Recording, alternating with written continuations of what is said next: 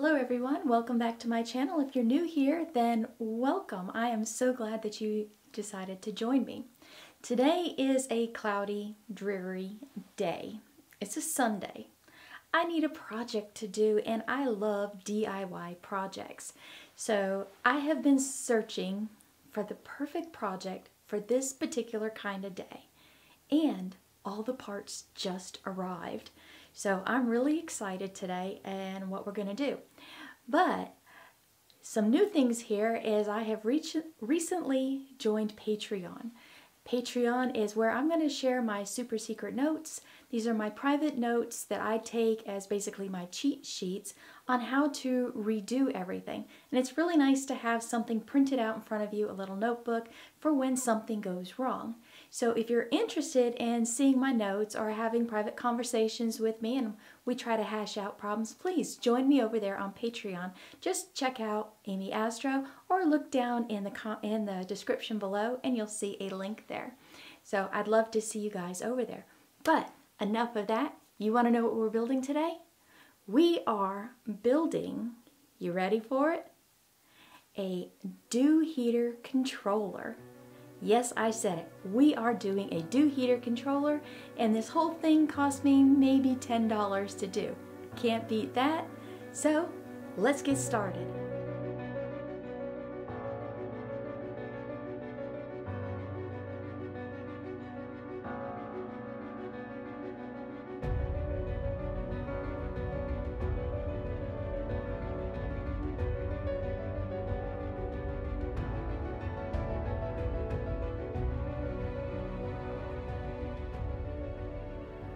So let me show you a few components that we're going to be using. The first one is a PWM module. This is actually a dimmer switch. It's for the RGB LED lights. Um, it's real nice. It comes in a slick little packaging. You can wire here, wire here, but what we're to do is we're to modify this case as I've seen on a gentleman over there on astrophotography tutorials. I'll leave a link up above for his YouTube channel if you want to check out how he does it.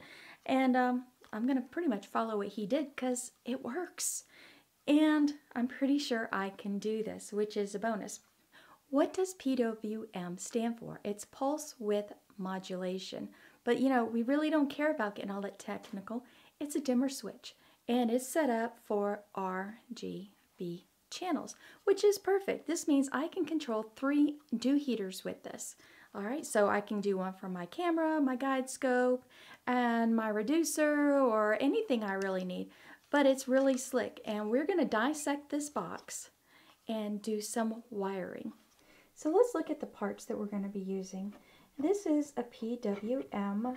It's also known as a dimmer switch for RGB channels and LEDs. And it has these nice little ports on the outside and we got side here for our power. And this case will come apart. We'll dissect it with these four screws here and we'll do some wiring on the inside. We've also got ourselves a nice little soldering iron here that will warm it up and get to using it. And we have these female RCA jacks. They split up and you've got a piece here that you can wire to and you'll sandwich the wall of the um, the dimmer switch also between it and for power I'm going to use my Powerwerx and that's where how I'm going to feed power to this box. Let's say you prefer to stick with the end of a, a cigarette lighter. You can just pick one of these up Walmart Amazon wherever you want. Cut off this female side, expose the wires, and we'll wire it together. Or we also have this 2.5 millimeter plug that I picked up a while back that has that has these flying leads to it that I could wire up if I wanted this type of connector. So there's plenty of options. Use your creativity on how you want to wire these up. And I've got my crimping tools, my wire strippers, and yeah, there's not that many items to this project. I'm going to use four pieces of wire here. I've got them in assorted colors. red, blue, green, and white. And let's see. Oh, we need to have a, a drill because we're going to be drilling some holes in the side of this case. So that's all the parts and pieces. Let's get to building. So let's go ahead and start with removing the screws on the back of this. Alright, so now that I've got the screws out, we're going to crack it open and we see the back of our circuit board. If I pull this down, you can see where our little rheostats are that would turn the RGB just fine for us. And yeah, this box actually has a lot of space in it. So I'm going to drill myself three holes on the inside of here and I am going to mount this female RCA plug right through here, okay? And I'm going to mm, situate it so that the curved side of the plug is facing up. So let's go ahead and drill three holes into this box. Okay, so I'm going to mark where I'm going to put my three holes. One right here, right here, and right there, okay? I have my drill bit selected already. It is a quarter inch drill. And let's hope this works and doesn't crack.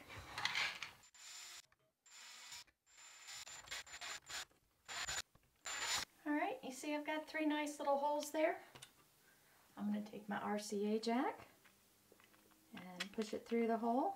Nice. And you see, each RCA jack comes with a nut, and this will go on the inside of the box. And it comes with locking washer. And then finally, this little, uh, like a pancake paddle thing here is what we're going to wire up to. So now that I have these three holes drilled, what I need to think about are the holes on this side. I need four small holes for the wires to come out and wire into these terminals. I'm just going to use a really small drill bit and place four holes in there.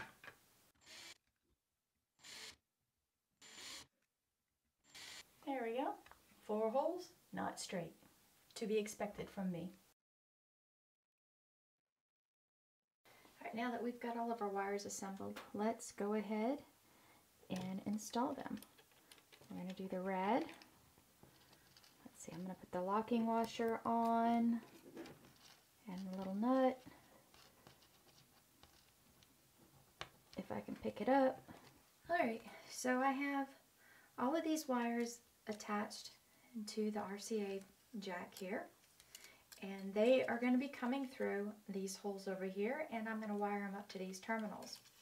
But now that I have uh, the grounds on all of these attached, what I need to do is bring power to them. So I need a jumper between each one of these RCA jacks. So I'm going to take this white piece of wire and I'm going to create a jumper that goes between each one of these terminals. Okay, so to make my jumper, I stripped one end of the wire so I could hook it into this last one. And I'm just going to use, I marked where each one was, and I'm just going to melt this little insulation jacketing off to expose the wires. I will tin the wires and then I will attach them back here.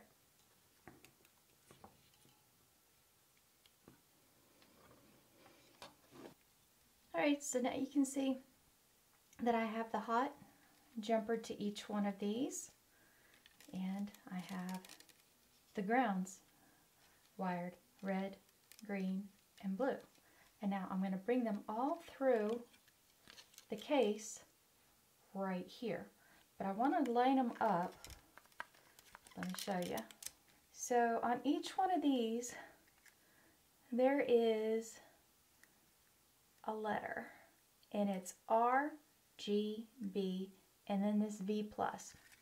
Okay, so the red goes to the red, the blue goes to the blue, green goes to the green, and the white goes to V. So let's thread them through these holes and get it all done. All right, as you can see, I have everything wired up. I have my power going to each one of these um, RCA jacks. And I've got the ground wiring underneath and coming out to through the holes. And now when I assemble this, it's going to flip over, like that. Now I should be able to, I did this correctly, wire these straight down to the appropriate terminal. And I'm going to cut these off probably just a little bit, I'm going to cut these off probably just a little bit long and then I'm going to feed them into each terminal and screw, it, screw them down tight. Alright, let's think about our power cord here. I'm going to use an Anderson power pole.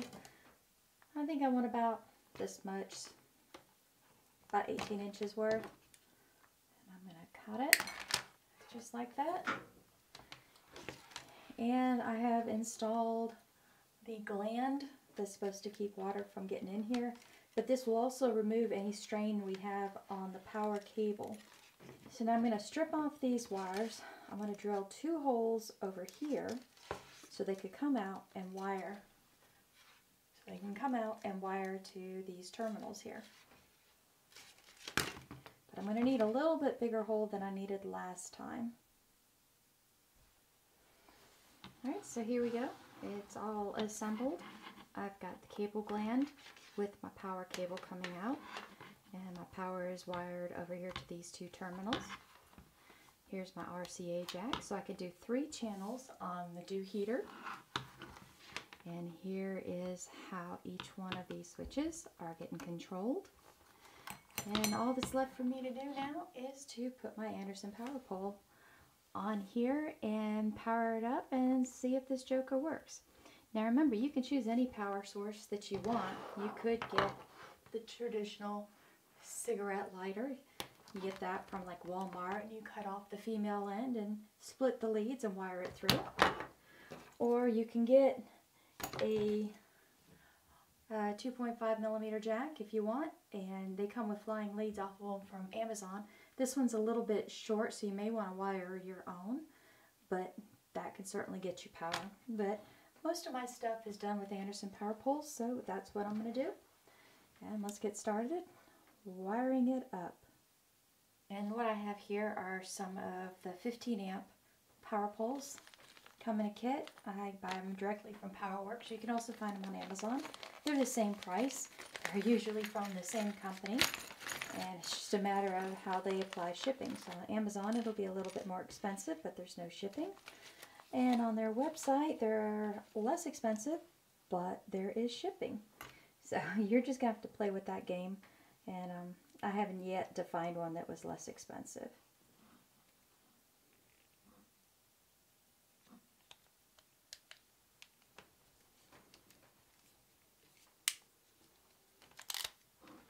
Alright, so now that I've got my two wires and notice that the ends are scooping down, and that way they'll fit over the end of this uh, metal cap. And I should be able just to push them in. There we go. They're both on there. Alright guys, so here's the moment of truth. I'm going to turn on my Powerwerx power supply. And I am going to plug this guy in. And we got power. But I'll admit to you guys, this is the second time that I have plugged this in, and you notice I had reversed my red and black. Yep, that was a goof, but an easy fix. No big deal. So, let's plug in a dew heater. And let's see how it does. Let's put it on the red channel. And I'm going to turn this up. And let's see if it gets warm. There it goes. It's getting warm. Excellent. Real good, real good. So,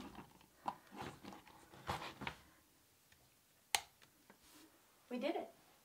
Alright guys, so I just made my first dew heater controller. I'm really excited about this. It's a nice little small profile. I can label it up when I decide where I'm going to put everything at. Um, it works. I made one goof where I had crossed up my power. Um, in hindsight, I should have drilled all my holes first And uh, let's see. I've got a cable gland here. It goes, the power goes inside and then out up here to be wired. And this is to keep any cable strain going. It's not a perfect fit. It's a little bit big for this particular cable. So I'm going to put a drop of silicone in there just to seal this box up and me not have to worry about moisture. And I completed it with my favorite Anderson power pole. And it works. I checked all three dew channels. Um, I could turn them up to whatever I wanted. Now, I don't know what temperature I'm turning them up to. This is going to be trial and error where I go full power or half power, or something like that. It's just something fun to play with. But you know what? I did it myself and I'm really proud of myself. So you guys, if you like these type of videos, these DIY projects, consider subscribing. Hit the alert bell below so you know when I upload new Astro related material. Don't forget, you can also follow me over there on Patreon. There's a link below.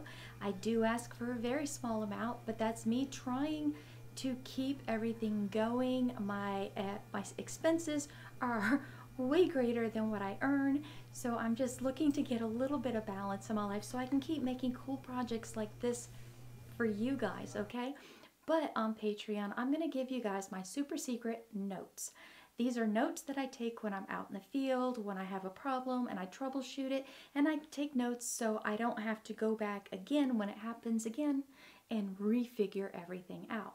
So I thought these notes would be very helpful to you. But currently out there right now, I have the full PixInsight workbook tutorial, which matches the videos that I issued out a few weeks ago.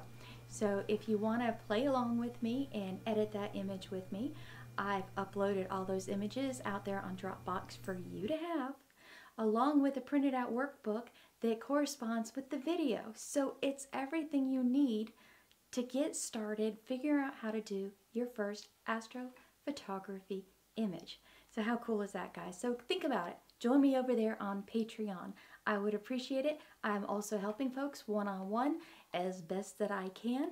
Um, right now, there's not a whole lot of you guys over there, so you definitely have my undivided attention.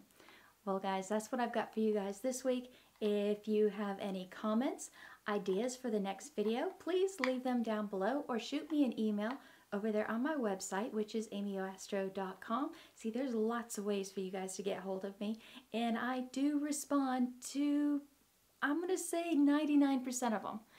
Why? Because there's going to be that one that just slips through and I didn't see it. I'm sorry. It happens. I'm human. But guys, that's what I got for you. So I'm wishing everybody some great health, clear skies, and I will see you all in the next video. I love all y'all. Goodbye. Thank you.